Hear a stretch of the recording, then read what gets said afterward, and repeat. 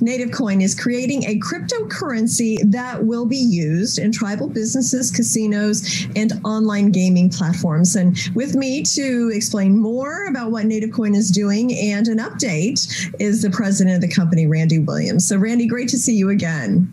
Well, Jane, thank you for having us. Yes, look forward to an update here. So, I guess um, a quick, um, just kind of tell us quickly what Native Coin is doing and give me a little bit of your bio. Well, uh, I, am I'm, I'm the president of Native Coin. I'm Tlingit and, and Oto. I'm a product of the boarding school.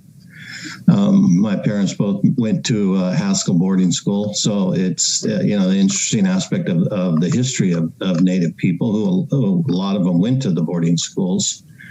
Um, so and and and that's sort of my background. Um, I I'm the president of, the, of Native Coin right now, and and we're moving forward with with the coin. So we're real excited about that, and and real happy to to be on your show. So thank you very much. Well, now the last time we talked, there were some things in the works. So and that was a few months ago. So can you give me any update about the progress you've made or where you are with some of your projects? Well, we listed, um, and and we're on exchanges now. Uh, that's that's real exciting. Um, you can go to our website, uh, nativecoin.com, and and look for the exchanges that we're on. Um, we also have talked to several tribes, um, and that's real exciting because we've talked to tribes about putting in the uh, ATM kiosk uh, on their on their reservation and and in their casinos as well.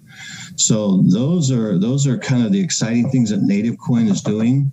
You know, we, we just had a meeting the other day and, and we were talking about the NFTs, right?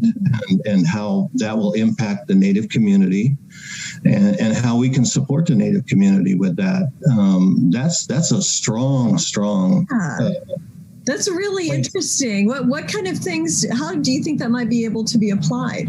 NFT? Well, you know, native artisans, of course, are localized, right? Mm-hmm. And and so if, if we can create an opportunity, a world's market for them, I mean, that just expands their their their buying base just tremendously. I mean, it's just it's just so exciting for that to happen.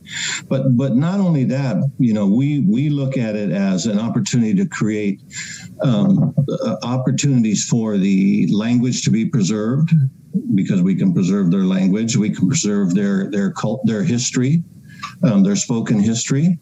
Um, we can preserve their art. Um, we can preserve a lot of things that that tribes may have a difficult time keeping um, in today's fast society, uh, and and we will it'll always be there for them. And so those are the things that we look to do. I mean, we're just not just here to develop the coin, make money. You know, we actually want to give back to the communities that that that we're going to serve, so to speak. And and uh, you know, the Native community certainly is that community in which we want to support. Yeah, now that NFT could be a really interesting application for you. So let's we'll do an update on that later in the year once things get on. And you've also got speaking of giving back, you've got a new foundation, right? So what's that about? Well, that that's just about you know we we look at at uh, at um, what we can do for the communities, right? And some tribes do very well with their casinos, um, and and and they have the opportunity to provide very good support for their tribal members. Other tribes don't have uh, casinos, you know, and, and I will just, I'm in Alaska, so I'll just take a, a, minute to talk about that. You know, there are over 200 tribes up here that don't have casinos. There, there are no casinos uh, in the state except for one on one reservation because tribes in Alaska don't have reservations. So the, they don't have the opportunity to create that kind of uh, income that that reservation tribes do. Um, other tribes down down south in the lower 48, they have they don't have casinos as well. And so we created a foundation that will have the opportunity to support those tribes economically, where uh, if, if a tribal member says, you know, I would like to start a business, we want to support that.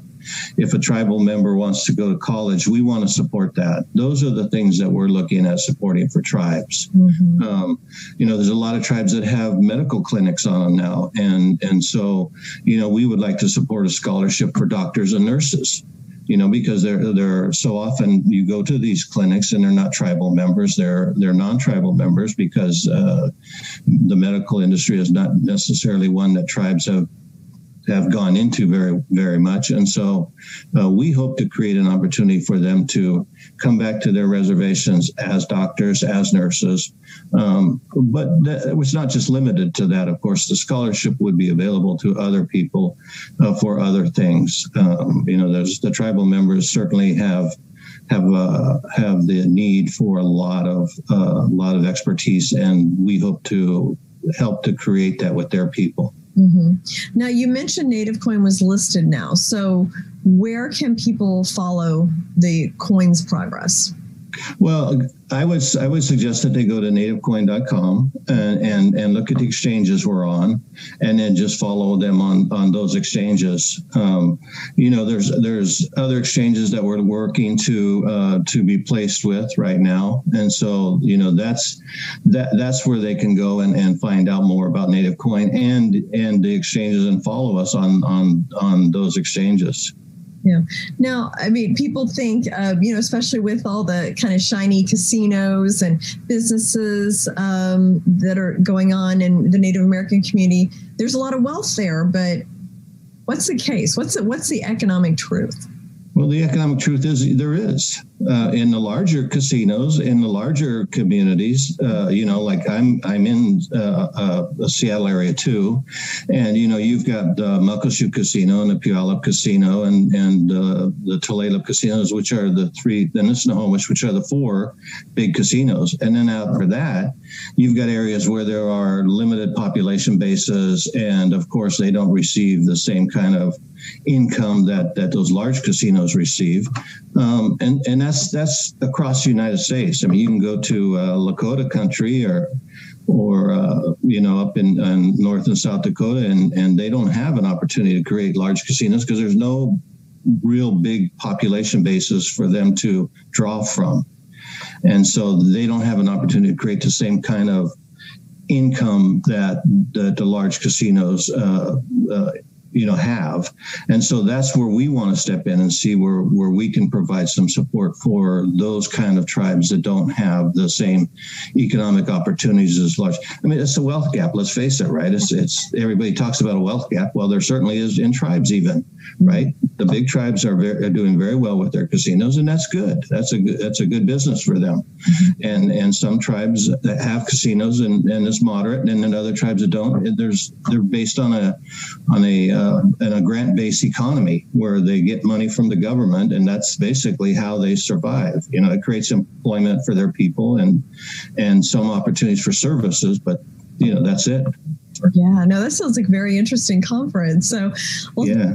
thank you, Randy, for joining. I look forward to updates as the year goes on. Now with the listing and the NFT uh, possibility as well, it should be an exciting year for you yeah, it should be real exciting, and and we're always happy to to talk to you and and and have the opportunity to speak to you because uh, you know you offer so much to the the cryptocurrency world, and and and uh, you know we we thank you for that. Yeah, well, thank you, and good.